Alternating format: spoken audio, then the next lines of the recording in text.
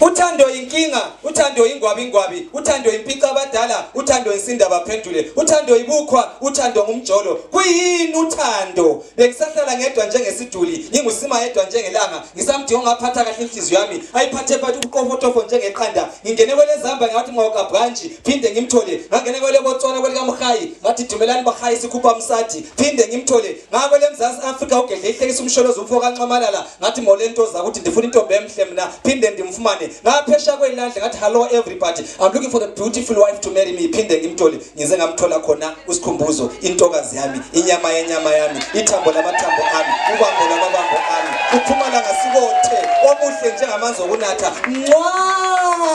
ngiyakuthanda ntombi yami